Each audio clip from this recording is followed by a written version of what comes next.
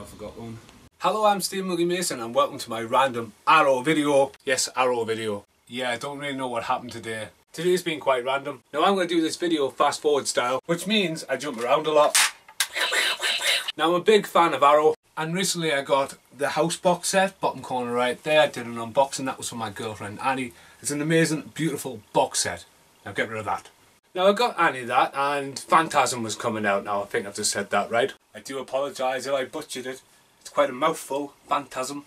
Now I have some of the Phantasms on video. Good old VHS. Jambo Shango, that's his name. I need to call him Papa Shango. So a few people have done unboxings of the Phantasm box set and I was like, well, you know, kind of missed my opportunity there doing unboxing, didn't I? Plus when the first came in, into work, I only had two and I thought it was going to be a limited run, so I sort of gave up on it. Then I thought my girlfriend's birthday is coming up. Now I do apologise if this is the first video you've seen of mine. You think, where is this guy from? What spaceship did he fall out of? It wasn't this spaceship. To be honest with you, I don't even think my own mother knows where I come from. Now I've always been a big fan of Arrow from Steelbooks and the re-editions they bring out. They have the flip covers, it's awesome. They restore them all, they give them all the treatment they need. They pretty much robbed Joe Dante's house for the Burbs. So the Burbs came out, standard edition, only the trailer on. Wow, I bought that just because I did that. Then there's the Arrow version with a new custom art cover on the back. Loads and loads of extras restored. Inside is a flip cover. And then Steelbook is absolutely gorgeous. With the Klopeks car on the back full of skulls. Inside was a little disappointing as it's only got Walter and Queenie inside. But they did a cracking job. And the other Arrow film I'm really pleased with. Uh, how do I put this? Really? Really? I'm on a journey for Arrow. So the day was a bit crazy. Now that is the Phantasm box set. That is a £70 box set. Now this is meant to be for my girlfriend Annie for her birthday in a couple of weeks. And I've been told I can unbox it, which I'm going to do at the end of this video. Because I went a little bit crazy today. Just a little bit crazy. Now HMV have a multi-buyer offer on starting today for Arrow Blu-rays. 5 for 30 or 3 for 20. There's a couple of editions of DVDs and different offers as well, but the main one is the Blu-rays. So I went a little bit crazy. The first one today, King of New York, starring Christopher Walken and Wesley Snipes in a really young role, where Scarface left off, the King of New York begins. Okay. I did enjoy this. Now this does hopefully have a flip cover, and with alternately having a flip cover every time the cover flips, so will I. So this is the alternative cover angle where I've got my claw hammer. I'm going to whip through them, open them up and see what the alternative covers are. I wasn't joking about using the claw to open stuff. It's my weapon at the moment. King of the New York's alternative cover is more of the original cover. Christopher Walken has been established quite a lot over the years on the cover in a very similar way. But I do like the cover Arrow's rocking out. It obviously has a lot more of the cast on blended together, so I'm sticking with that one. Next up, Inferno. Never seen it. Tagline on the back in weird, like Blackbeard writing is after Sabrina, the teenage. Sabrina. I don't even know what that is. Sorry, my dyslexia's just kicked in. Comes Inferno, so Inferno. Inferno's cover is a lot different. It's like a skull meets a half a woman's face with, with some kind of blood dripping out. I almost was a little snail or a little worm there. I do like that cover a bit more. It's a lot more ooey. What the hell is ooey? So yeah, I like that one better. Don't look at it. Don't look at it. I'm sorry, I didn't realise. I didn't realise. Microwave Massacre. Tagline on the back for this one is they came for dinner to find they were it.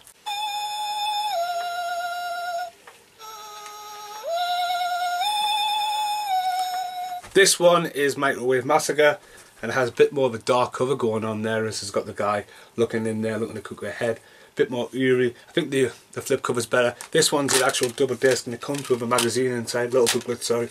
But yeah, that's pretty awesome. Next up, it's not handy, it's there, it's underneath Fortress, it's right there, is Maniac Cop. You have the right to remain silent forever.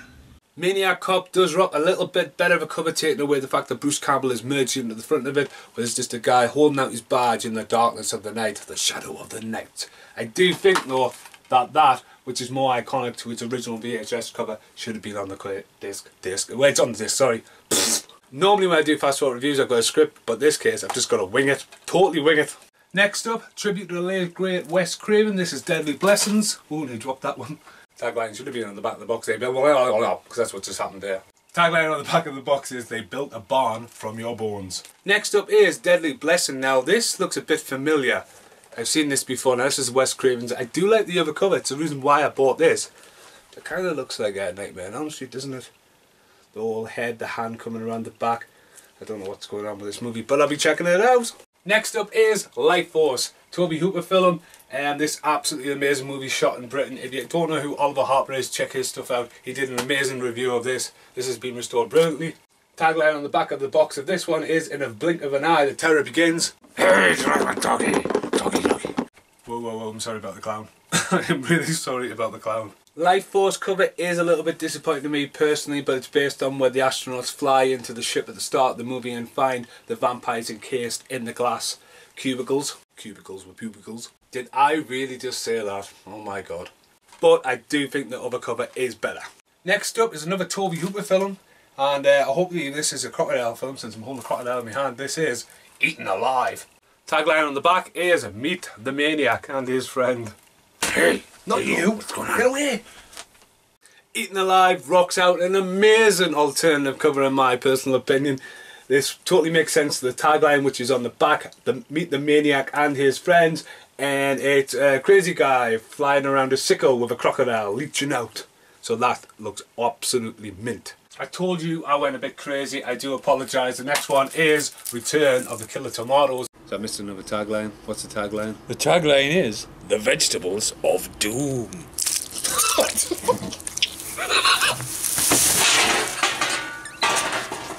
awesome.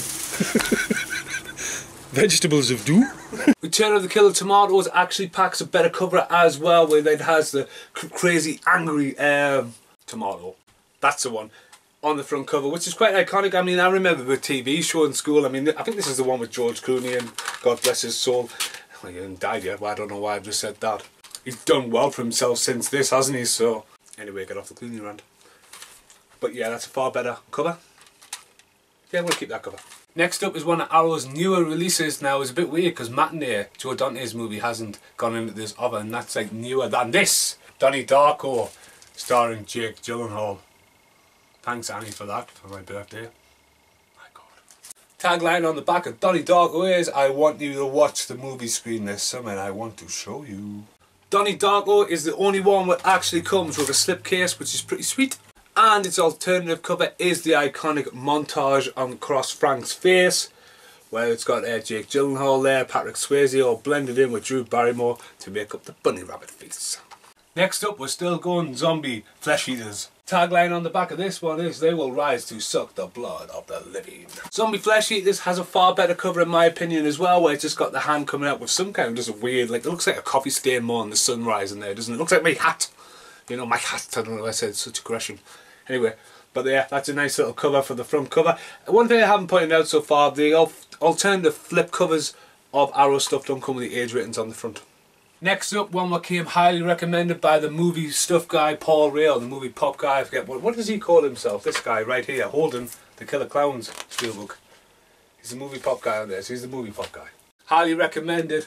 Night of the Comet. It was the last thing on Earth they expected. This is the last thing people clicking on the Arrow video expected, that's for sure. Night of the Comet's flip cover is all the cast looking up in the sky with like a doorway and like space going on there. The original cover is far better one that's rocking. Next up, starring the late great Roddy Roddy Piper. Hell comes to Frogtown. Rabbit, rabbit. Tagline on the back is a new breed of enemy has taken over the world. Sam Hell has come to take it back. Hell Comes to Frogtown has a better cover as well, getting away from the cartoon factor, which uh, honestly, Roddy Piper looks like he just fell off the They Live, the Thomas Hodge cover, do designs, but this one's got the cast looking at some frog people that look more like, oh, they're creepy little frog people, man. I'm looking forward to this film. Next up is a classic movie, and I'm glad they've got away from the Hunger Game themes they put on this horrible DVD. It's Battle Royale and this is the director's cut I haven't seen. I've seen this once and I'm happy to say I've seen this with JJ Perry and Jonathan Frank and Nick Roundtree in Bulgaria 10 years ago. Wow, lifetime ago. So I'm looking forward to rewatching that because when I watched it I was like, wow, this is a dark film. Tagline on the back is one dead, 41 to go. Flip cover, it looks amazing actually. The Battle Royale cover, it's got all the cast of the pictures like the school photos and all the Japanese writing going across the special edition. And yeah, it's a pretty dark, brutal film. I do like that cover. That's a lot better. It's a lot more creepier. And finally, part of my Arrow craze here. The last movie I got to see last year at the Scream Demons Film Festival. Yeah.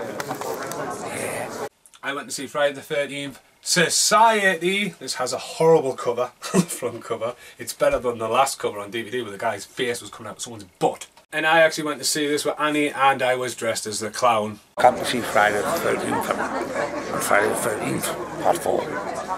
Part 4. And it's pictures. This was all well before the clown craze last year. Well before. Society does have an alternative cover where the woman's pulling off a face, which is quite an iconic version. It is quite a shame that the butt face is not on there. It could have been on the disc, but yeah, the butt face is a bit traumatising. But at least Society has a flip cover. Now there is two other Blu-rays I did get today. I totally went a bit nuts. There's the Mummy, which is for Annie, which is free disc set. Peter Cushing and Christopher Lee. And Thomas Hodge in the corner there with Hobo with a Shotgun and They Live. It's done some amazing artwork and this is the one missing from my collection. This is Wolf Cop. Here comes the fuzz. Wolf Cop does not have one. Shame. But I've seen a mint steelbook online, but that is part of my collection now for them. Now, it's anything to go by Hobo with a Shotgun, this film will be absolutely nuts. Okay, this is the Phantasm box set. Now, I'm going to sit down on the floor and try and unbox this properly, so I'm going to change the angle up a bit. Okay, this is the Phantasm box set. I keep calling it Phantasm. I hope it's called Phantasm. Now, this contains all five movies, and the last movie was made in 2016. The original movie's from um, 1979. Okay, I said before that I would sit down on the ground and cast a shadow on my face while I was trying to do an unboxing of this, but because of King Kong and uh, got that to do an unboxing of next, I'm uh, struggling for space at the moment. So I might go back to the old way. Okay, I was just faffing around on the floor then. I stood up, I did a little bit of a rant. I picked up the claw hammer and went, whoa, should I open it on camera with claw hammer? And I went, no. So I have actually unpackaged it and I thought I was recording. I've been filming so many different angles, sorry, I do apologise. Anyway, there has a lovely print around the box. And I'm guessing it opens like this. I'm just guessing. Wow! Hello, it's me. Check that out. So that's pretty cool, isn't it? You can see the reflection of the ball. I quite like that. It's awesome. Now the lid comes off. I'm going to put that to the side. I'm going to put it facing up so it doesn't get marked on the top. Now that is pretty cool. That is proper mental. Absolutely mental. This needs to be a jump cut. This is just freaking me out, this thing. Look at this thing. It's like, whoa, crazy ball. Yeah, me looking in there, there that's absolutely mental. But that is a bit like a, just a Christmas decoration, like a Christmas ball. But yeah, it's uh, it's pretty light, ornament, maybe, yeah. This is freaking me out, this thing. Hold that, Whiskers. So Whiskers the baboon over there. My Mandarin baboon is going to hold that. Got a thing for baboons. Okay, at the back there is a book, and wow, it's, well, it's a heavy book that. Now this is a pretty big book. Takes you through all the films, lots of nice stills, a lot of stills actually, alternative artwork. So yeah, that is pretty awesome, pretty thick. That is the artwork on the VHS I've got of number two. I do not know. I've got a few of them. I'm not sure where they are though. That oh. oh. oh. Sorry, I have a proper phobia about that spongy stuff. Oh, it gets us every time. It goes right through us. Oh. So if you can see there, these are pretty weird. These are not like, these are more like Digipak CDs. They are like Digipak CDs, wow. So the first one has the old man on it with the ball. And the disc is pretty plain, there's the grey um, graveyard there, a couple of silhouettes and the shadow of someone's face. The second one has a hand, a red hand, red, red hand, holding the phantasm ball. And very, whoa, same cover inside. It's a bit, uh, didn't realise that. Third one has an eye on it, it's looking at us. Has an eye on Lord of the Dead. And I'll be sticking with tradition. Yeah, grey and a red silhouette, shadows in it. This is not what I was expecting. Number four, Oblivion which is uh, it's got like a saw blade, circular saw blade going on in the ball.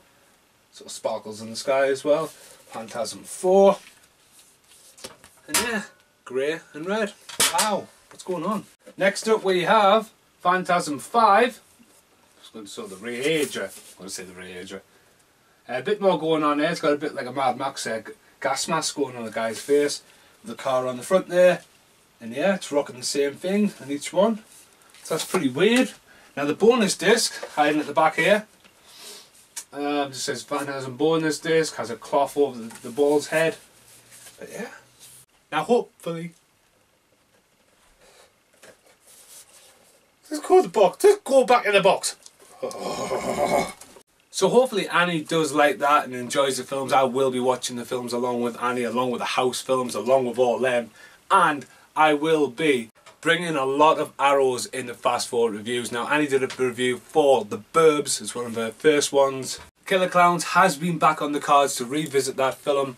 But as I watch the films I bought today, I will be writing reviews for fast forward reviews. So if you like what you've seen today with me jumping around like an idiot, check out fast forward reviews and definitely check out the Arrow promotion definitely at HMV at the moment. The quality for the price is amazing. The Phantasm is a really nice box set it's well made well constructed.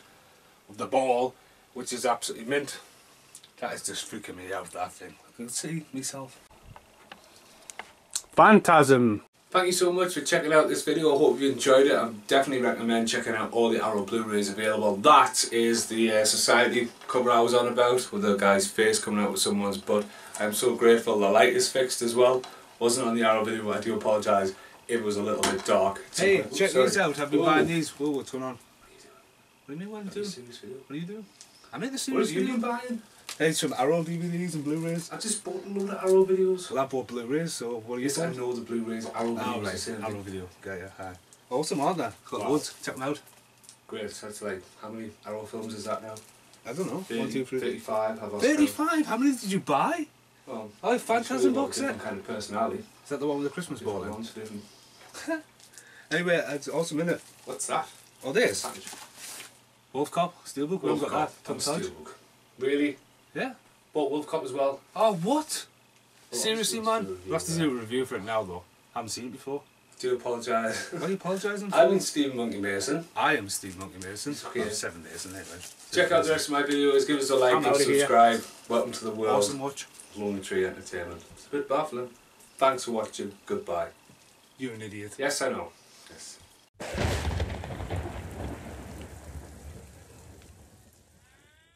I just like to hey Jack, hey Scott. Get a hold of yourself. This is the very, very end of the video. Whoa, this really is really creepy and weird. Goodbye.